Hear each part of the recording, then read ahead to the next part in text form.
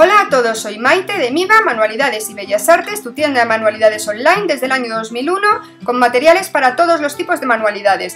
Tenemos un montón de tutoriales gratis en nuestro canal de YouTube y en el blog y hoy le va a tocar a una de nuestras colaboradoras enseñaros los materiales. Así es que os dejo con ella y empezamos con el tutorial. Hola a todos, yo soy Cristina de Be Creative Scrap y hoy vamos a hacer un álbum de comunión súper fácil con encuadernación de cuerdas que queda súper bonito, así que vamos a empezar. En primer lugar vamos a forrar los chipboard o cartón contraencolado que van a formar nuestra parte exterior del álbum o nuestra carcasa exterior. Lo vamos a hacer con cartulina y las tres piezas de chipboard o de cartón contraencolado van a medir 18 x 15, dos de ellas y una central que va a ser el lomo va a medir 15 x 5 centímetros.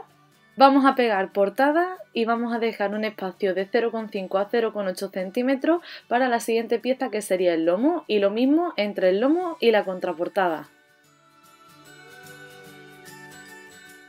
Vamos a hacer ahora las esquinas y para ello vamos a cortar de forma angulada todas las esquinas como veis en pantalla dejando un espacio entre la antigua esquina de chipboard o de cartón y la nueva que vamos a cortar en la cartulina. De este paso nos van a resultar cuatro solapas, una por cada lado, y las vamos a pegar con cinta de doble cara bien ajustada al cartón.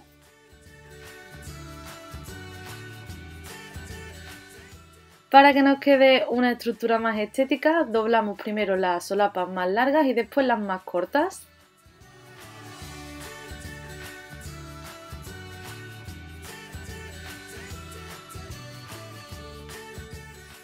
Y ahora con la colección de Comunión de Niño de Anita y su Mundo vamos a decorar este álbum que estamos haciendo.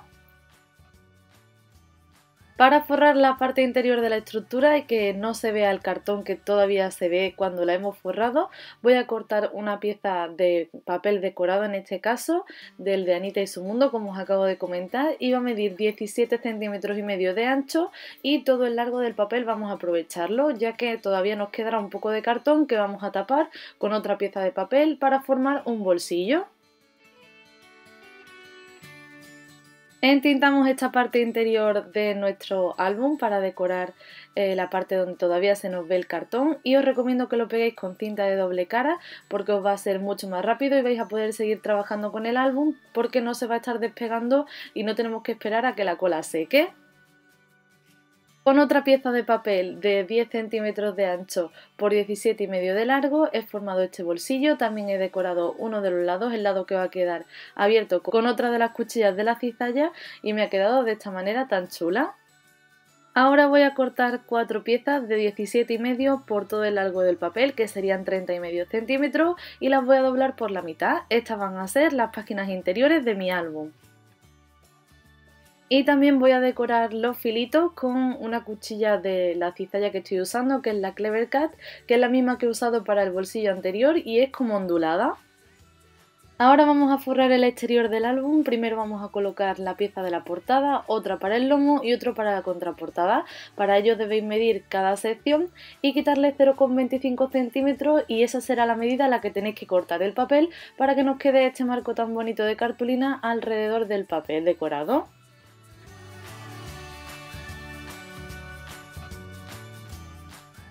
Ahora voy a decorar la portada con tela de arpillera, que es esta que veis aquí, súper chula, es muy parecida al yute y me encanta combinarla con papel en las portadas, da mucho volumen y es un toque diferente. También voy a colocar un papel decorado de la colección que he cortado y he redondeado las esquinas, una blonda y un niño de comunión que viene en la colección. Para terminar voy a poner el nombre del niño de la comunión con un abecedario. Vamos ya con la encuadernación y para ello nos situamos en el lomo que mide 5 centímetros, os lo recuerdo, y marcamos a 1, 2, 3 y 4 centímetros. Lo hacemos en la parte superior e inferior del lomo. Aquí es donde van a ir los agujeros que van a ir sujetando las cuerdas de la encuadernación.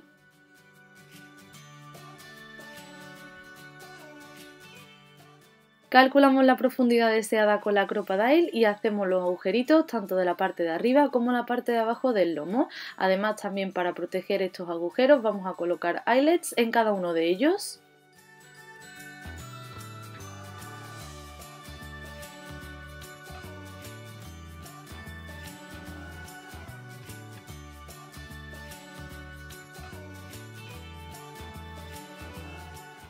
Marcamos en una de nuestras páginas interiores donde se encuentran los agujeritos y superponemos todas las páginas debajo de esta para cortarlas en una sola vez con la Crocodile.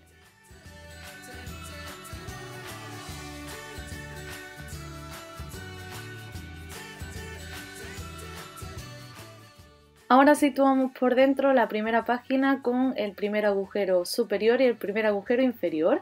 Metemos el hilo que vayamos a usar, yo estoy usando Yute por el primer agujero, lo insertamos en la página, recorremos la página en su interior y lo sacamos por el agujero de abajo. Entonces se van a encontrar los dos extremos de cuerda en el lomo y ahí vamos a hacer un nudo o un lazo, lo que queramos, para hacer la encuadernación y que la página quede bien sujeta. Así vamos haciendo para todas las páginas. La segunda página irá en el segundo agujero superior inferior, la tercera en el tercer agujero superior inferior y así sucesivamente con las páginas que tengamos.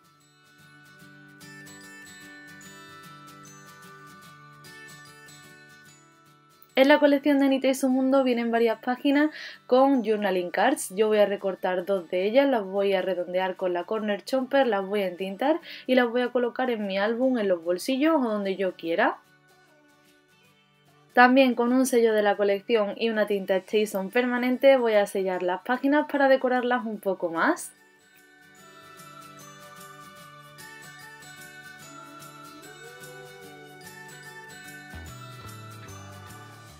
Y así podéis seguir decorando todo lo que queráis este álbum de comunión que como veis ha sido muy fácil de hacer, necesitamos muy poquitos materiales y es totalmente para principiantes, además queda un resultado precioso y espectacular, la encuadernación es muy bonita, así que espero que os haya gustado este tutorial y que lo pongáis en práctica. Muchísimas gracias por vernos y muchos besos. Muchas gracias por llegar hasta aquí, espero que os haya gustado este tutorial, si es así no olvidéis darme un like y compartirlo con vuestros amigos en vuestras redes sociales para ayudarnos a seguir creciendo. Os recuerdo que todos los materiales están en miva.es, nuestra tienda de manualidades online. Os dejo los links a los productos en la cajita de información y también los links para que nos podáis seguir en nuestras redes sociales y uniros a nuestro grupo de Facebook. Si queréis ver vídeos relacionados o suscribiros al canal gratis, os lo dejo en la pantalla para que sea todavía más fácil. Nos vemos en el siguiente tutorial. ¡Hasta luego!